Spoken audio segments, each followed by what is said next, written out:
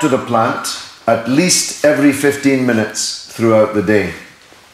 You must not feed or water the plant. It's good to talk, big brother. Question, Question. please? Yes. Can only put it down when you're going to take a shower or use the toilet. Yeah. What about fixing my camel toe? I can't put my balls in place with one hand with all this going on down there. So I got to drop the plant when I adjust my balls.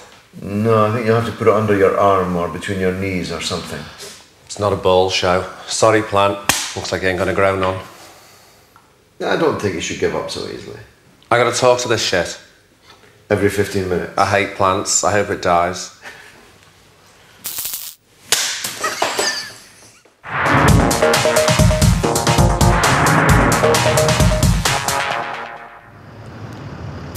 Twelve fifty-five p.m. Dennis is in the kitchen with his plant. The rules of the task state that the plant should be held at all times, other than when using the bathroom. Pete, Rula, Faria, and Oh, Geordie like are in the fruit flavouring? bedroom. Hello, little plant. Isn't that nice more than me talking to? Tell her looks very pretty. You look very pretty. Rula thinks you look very That's pretty. it. That's it. She's calling into question how you got that way, but she nonetheless thinks you look very pretty. You look... So, but where did she get her face from? Because the her other face, her real face, This is is gone, right? Who wants the real Please face? Come to the diary room. Oh.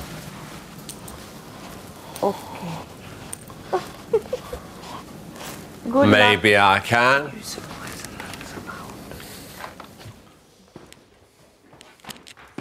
All of his clothes are outrageous, but the bare buttocks constantly on display. I wish he'd cover his bottom up. It's not Yeah. a bad bottom. It's a beautiful bottom, Yeah. but it's a bit in your face. Do you think of him as a man? I do. Yeah. The more I look at him, he is more of a man than he is a woman.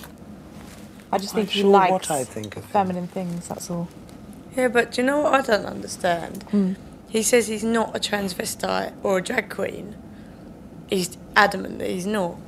Yeah, yet- he, he insists on that. You're right, actually. He Jess. does insist on that, and yet the blooming eyelashes, the hair, the I think he's heels, stunning. long nails. He's So do I. absolutely And mesmeric. I can't take my eyes. I can't off take him. my eyes off him. I just feel like just staring at him because his makeup is so immaculate. Not only that, but his skin. his skin, You know, everything. even first thing in the morning. Yeah, Apart from that. yeah. But my God, I well, think, honey, I think he looks. darling, if we did things like that and stretched our skin, I suppose it'd be the same thing. But Yeah. I'd rather not do things to my face. The more I look at him, I think he looks like the Bride of Wildenstein. Pete, yesterday morning at 8:24 a.m., you told other housemates that you had voted for Jodie, breaking one of the rules of the Big Oh. Brother house. Sorry. On page 9 of the rules in your welcome pack, it states that it is strictly against the rules for housemates to discuss their nominations with each other. Yeah. It's I against didn't read them. It's against the rules to engage in any conversation about nominations. You are free to discuss your feelings towards other housemates, but not with regards to nominations. Whoops. This includes talking to your plant about nominations. I didn't talk to a plant about nominations. Big Brother takes all rule breaks very seriously. I know you do. If you ignore the rules, you will be punished. Can I go now, please? Thank you, Pete. Thank you. Oh, shit. Oh, well. Oh, well. Oh!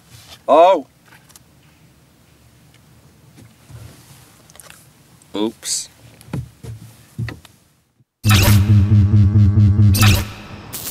One twenty-one p.m. Most of the housemates are in the house. Oh, shit. As part of the task, Dennis and Pete must talk to their plants every 15 minutes. Oh.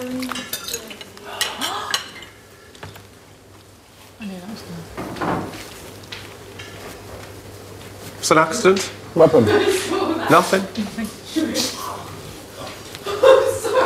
Talk to your partner then. talk to him. I have talked to her. Go and talk to her. Yeah. You ever seen the movie Jurassic Park? Have you? Don't worry about Pete over there. He's over there taking care of your sister. It's all love. She's gonna die, but that's cool. We're in trouble. Why? I tripped on the chair. What about, can it, re, can it be replanted, as it were? Well, it's not going to grow, it's dead. I'll still hold it, maybe it'll stay alive. Rula, you know about plants. Can't it be rehabilitated? For the plant's sake.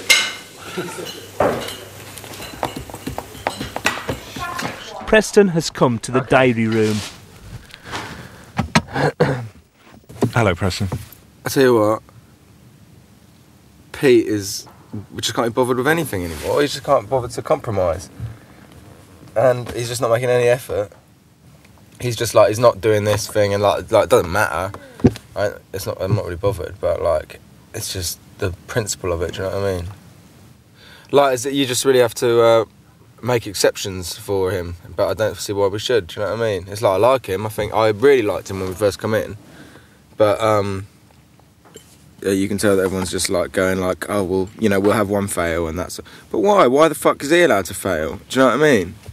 Like, we should definitely get it because he smokes all our fags anyway.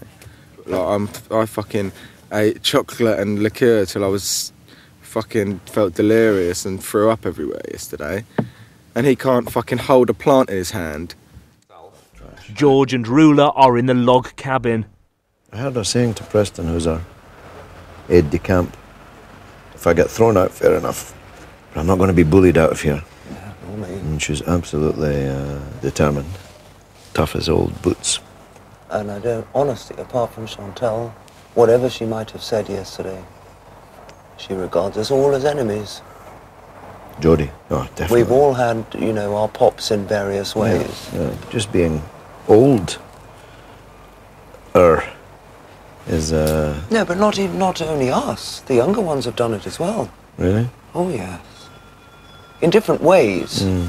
Maggot certainly has no time for her. You know, and Preston and Maggot are pa- pacifist as well. They're not. I think Preston's a fly man. I think he flits from bit to bit, does a bit of stirring. I, I feel he organised the nomination of me and Pete. I think that he he saw that this was a possibility of saving her.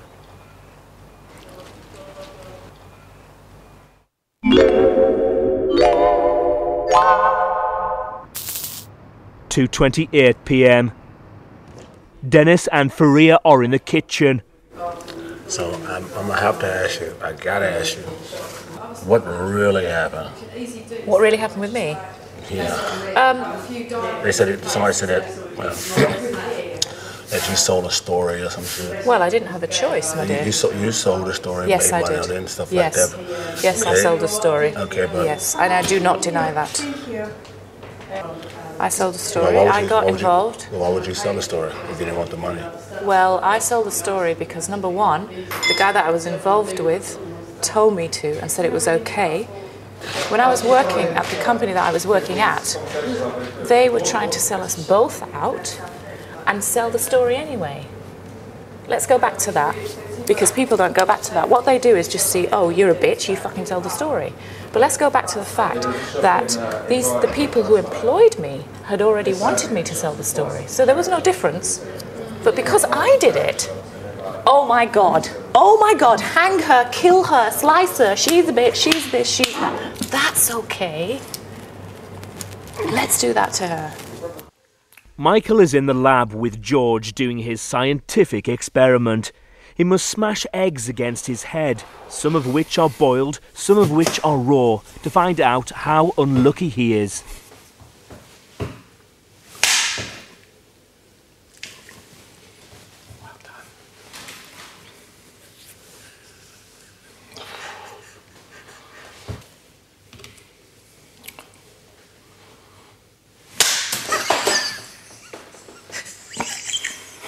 The yolk's on you, Michael. They they paid money because I had a relationship with the England coach. Oh, you did? Yes, I did. And he had a girlfriend. He had a partner, not just a girlfriend. He had a partner, but hold on. I ain't judging you. Oh, well, yeah, a lot of people are, and they continue to do so because when you're told by a man, as a woman, and you're told by a man constantly.